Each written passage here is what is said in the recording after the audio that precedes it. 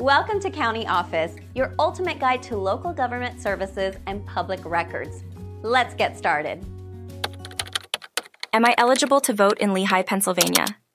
Determining eligibility to vote in Lehigh, Pennsylvania requires understanding specific criteria set by state law. Voting is a fundamental right and responsibility in a democracy. It allows citizens to have a say in their government's direction and policies.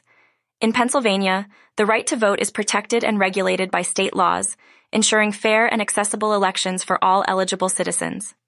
Firstly, to be eligible to vote in Lehigh, Pennsylvania, one must be a citizen of the United States. Citizenship is a prerequisite for voting in federal, state, and local elections. This ensures that those participating in the electoral process have a vested interest in the outcomes and policies of the government. Additionally, an individual must be at least 18 years old on or before the day of the next election. Age requirements ensure that voters have reached a level of maturity and understanding necessary to make informed decisions about their representatives and public policies. Residency within Pennsylvania, and specifically within Lehigh County, is also a requirement. Residency ensures that voters have a direct interest in the elections and issues within the area where they live. The duration of residency required before an election varies, so it is important to verify this information with local election officials. Furthermore, potential voters must be registered to vote in Lehigh, Pennsylvania.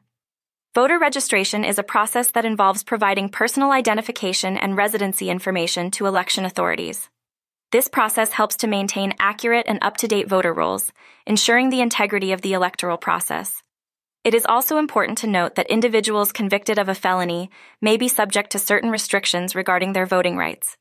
Pennsylvania law outlines the conditions under which individuals with felony convictions can have their voting rights restored, typically after completing their sentence.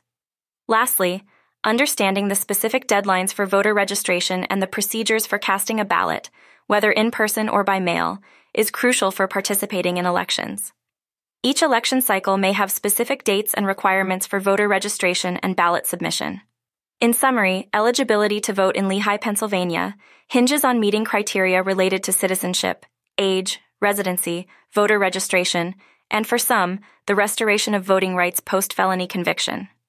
Engaging in the electoral process is a privilege and duty that supports the democratic principles of the United States.